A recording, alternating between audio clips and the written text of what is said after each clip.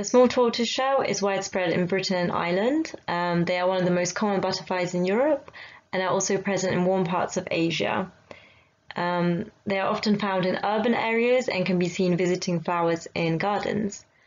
The caterpillars feed on common nettle and small nettle in the UK, and the male courts the female by tapping its antennae on the female's wings.